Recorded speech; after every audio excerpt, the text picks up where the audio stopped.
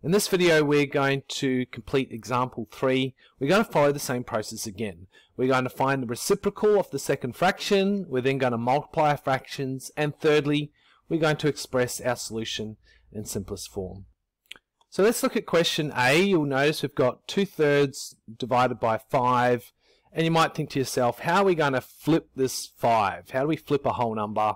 And we discussed this earlier. You can rewrite a whole number as 5 over 1. Okay, so now we can flip it. Well, the first fraction stays the same, and the second fraction flips and becomes 1 over 5, and we're going to multiply these fractions. So if we multiply the top two numbers, 2 times 1 is 2, the bottom two numbers, 3 times 5 is 15. Let's now move on to question B. Once again, we've got a whole number, this time it's 3, so we rewrite the whole number over 1, 3 over 1. And then we keep the first fraction the same, and the second fraction gets flipped. 5 over 6 becomes 6 over 5, and we multiply these. Multiplying the top two, 3 times 6 is 18. Multiplying the bottom two, 1 times 5 gives us 5. Now this is an improper fraction, so it'd be good if we can make it a mixed numeral. To do that, all we do is say, how many times does 5 fit inside of 18? Well, I can fit it inside of 18 three times with a remainder of 3. The 3 becomes my numerator and the denominator stays the same. It was 5 before, it stays as 5. We get the mixed numeral 3 and 3 fifths. Let's now move on to question C.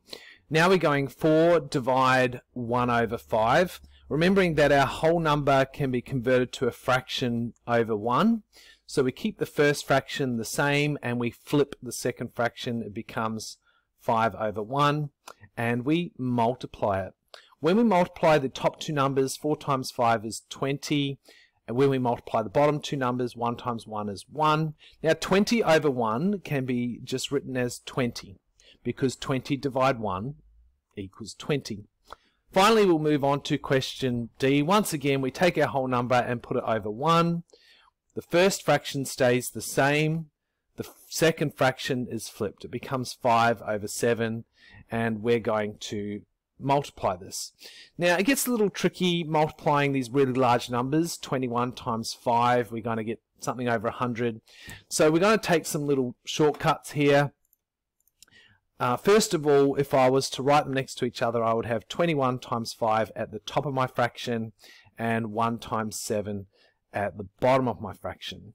Now I'm going to split the 21 up into 3 times 7 because 3 times 7 is 21 and next to it I'll write times 5 and at the bottom of my fraction I will write uh, 1 times 7.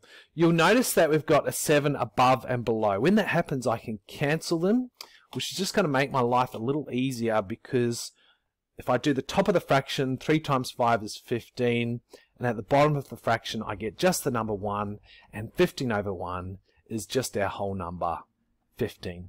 Anyway, that concludes our video on example 3. Remember to read the description below for links to workbook workbooklets that relate to this video.